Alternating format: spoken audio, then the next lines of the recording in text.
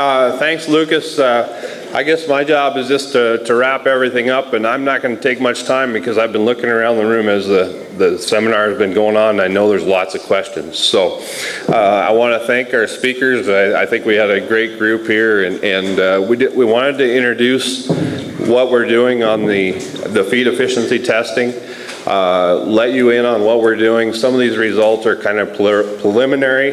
Um, the one thing that I've realized is that the more answers we get from it, the more questions I actually have. And uh, I guess um, part of my job is I, am the seed stock manager, but a big part of it is, is customer service. And I'm going to keep answer, asking those questions and asking those questions until they get it through my head, and then I'll be able to maybe interpret it to, to everybody else. So um, one, uh, one of the things that, uh, that I did want to want to stress is, is it is fairly new. Um, it's listed on the, on the bottom of the third page of the supplement sheet.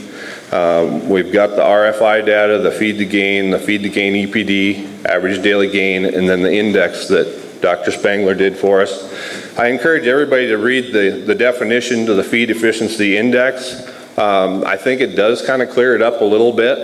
Um, and I encourage everybody to look at the numbers. But the one thing I want to stress is, is not to put just too much weight on these numbers. Um, they're just another tool for us to use. Um, you hear that all the time about EPDs and, and everything else. I mean, the cattle still have to fit what you're, what you're doing. Um, I was talking with Mike Hall yesterday, and, and uh, he was telling me about how when they started using pelvic measurements 30 years ago or 25 years ago, all of a sudden they noticed that they were actually discounting bulls with smaller pelvic measurements because people started putting all this weight on, on pelvic measurements because it was the newest tool available and, and uh, they weren't taking everything into consideration. So I encourage everybody to keep, uh, keep looking at, at all the data and make sure that uh, you know, what you're buying fits your program. Um, and again, I just want to stress that one of the main reasons for us doing this is, uh, again, customer service. We want to make our, our product more valuable to you and uh, our partners and so that we can all be more successful in the, in the beef business in the long term. Okay, the, uh, the question is uh, when Allison was talking about the spraying of the calves and different things that they're doing with the system, I, I actually want to put a little plug in because uh, we've just run the first two groups through, and this system has been absolutely flawless. I mean, it's, it's really worked well, and uh, they've been excellent to work with. So, but I'm going to let Allison answer that question. Okay, so specifically, you want to know what we're doing with the cattle? Do they stay in the pen? Treat them, stay in the pen? You know what? We'd really like to do that. And so, what we found is we found we don't know a lot about sick cattle. First off, are we pulling cattle correctly? So when we actually do get them, we kind of want, monitor them a bit, and we want to get to the point where we never have to pull cattle out of the pen. So that's the direction we're headed. Okay. Do they contaminate the rest of the herd? Well, you see, that's a, that's a good question, isn't it? Yeah. That's a good question. So what are we pulling cattle for? Like today, I will tell you that right now we pull cattle, and we basically think that all the cattle we pull that we treat are the sick cattle, but are we really identifying disease well? So you've asked a really good question. So there's lots of different kinds of diseases. So this isn't as simple as we thought, and uh, I think we're going to be at this for a number of years. Does anybody on the panel think there will be a standard moving forward in the future? There's residual feed intake, residual gain, and uh, feed to gain. We're, we're, we look at a lot of different numbers here do, do we think the industry will develop a standard and run with it? I think everyone should go to the Beef Improvement Federation meeting at the University of Nebraska and we, definitely. We appreciate the sponsorship. yes. Matt will take your um, enrollment check tonight. But that is really the beef industry performance body that creates such standardization. And that's a very intuitive question that um, I think really needs to be taken to the BIF for some degree of industry standardization. Matt or Allison, did you want to speak to that? I'd make a couple of comments to that. So I, that's a good question. I, I think BIF and, and uh, entities like that can provide recommendations relative to, to what may be ideal going forward. But at the end of the day, with everything else that moves into national cattle evaluation, the decision is very breed specific and it's made by a board of directors by the respective breed. And, and we, for a lot of things, we don't see consistency between breeds and approaches.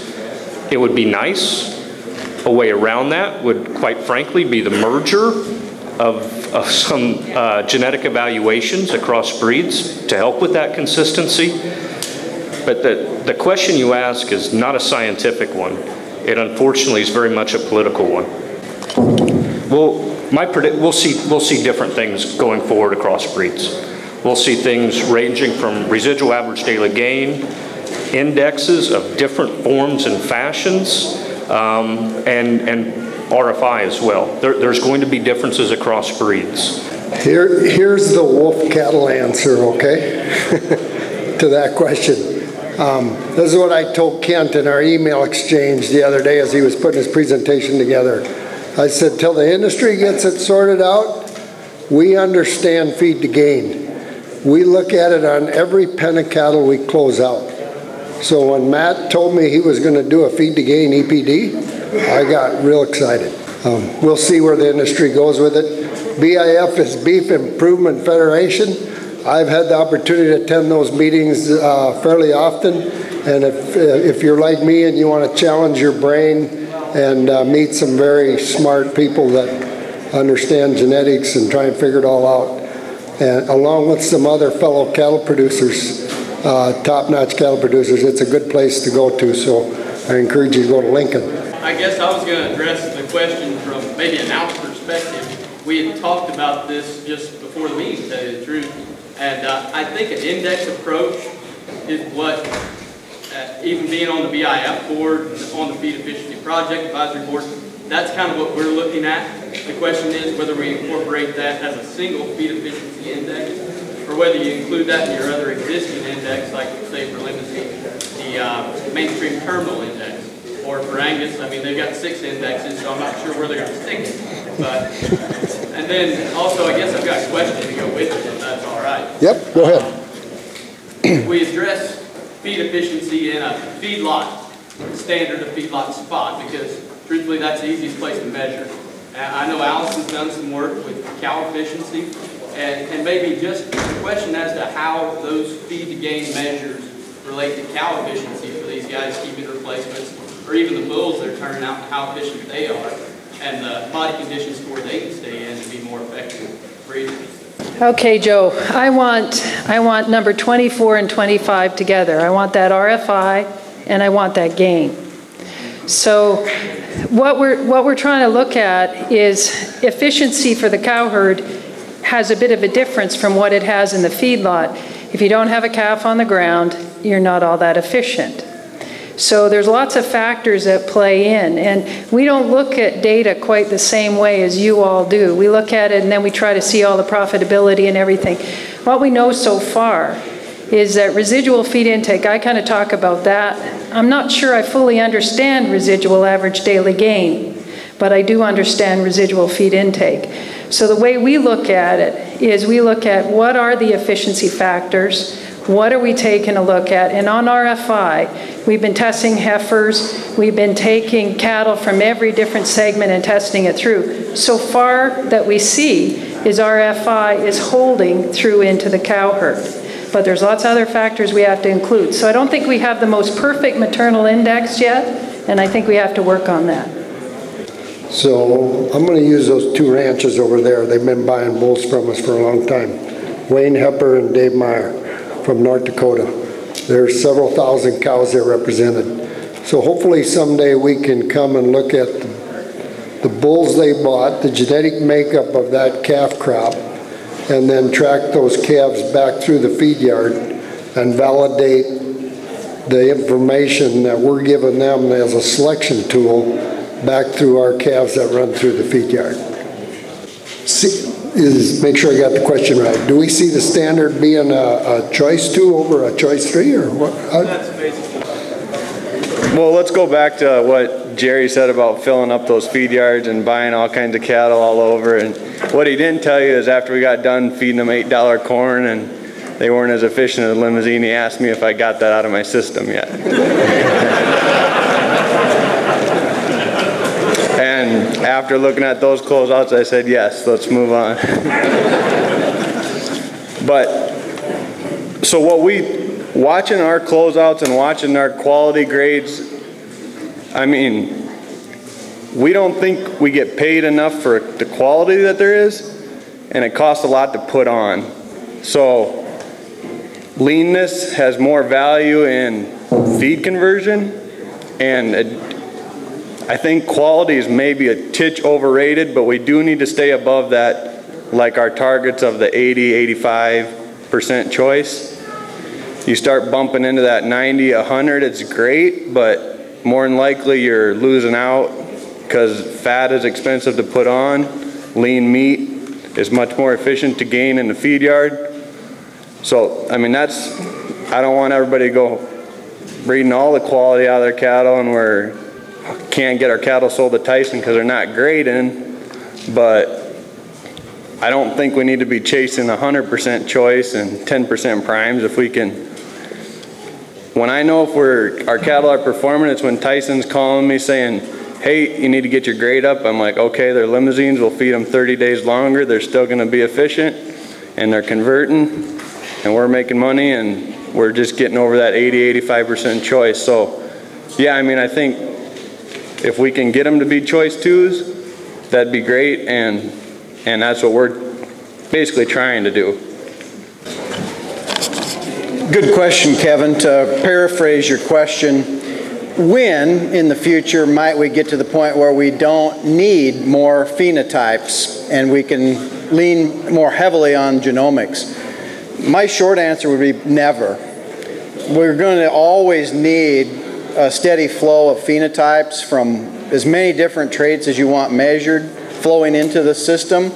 Because even though we might be able to initially train a dense panel of markers to be informative, as you all select for different things and um, as we want to characterize the nooks and the crannies of the population as well as the mainstream animals, we're going to always, at least based on today's technology, need a steady, if not ever increasing flow of phenotypes and good grouping data. For my money, for the foreseeable future, we still need the flow of phenotypes. Matt?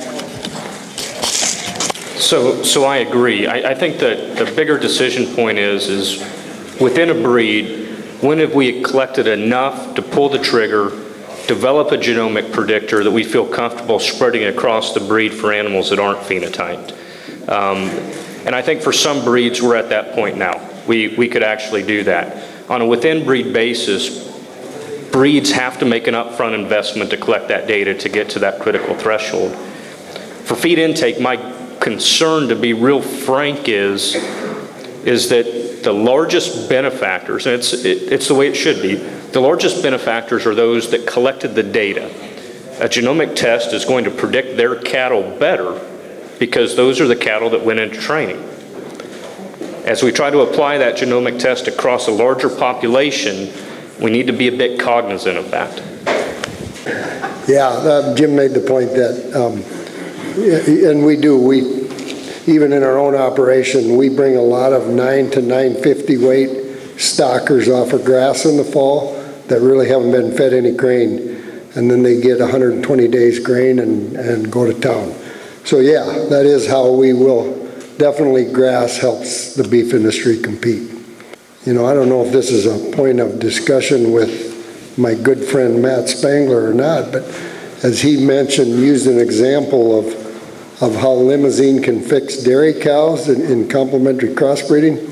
We like to think, still think they're, and always have, they're the, the best cross on Angus cows. I, I just had something I wanted to add. I was sitting over here telling Dan a story, and he says, get up there and tell it, get up there and tell it. So I was telling Allison too, it was probably 10, 12 years ago, I heard Mark Gardiner speaking, and he was talking about five by five cattle. And at that time, and I don't know, I hope my geneticists back me up here, but at that time, um, that was like a pipe dream. I mean, we were talking about seven to one conversion rates. On cattle that were gaining four pounds a day.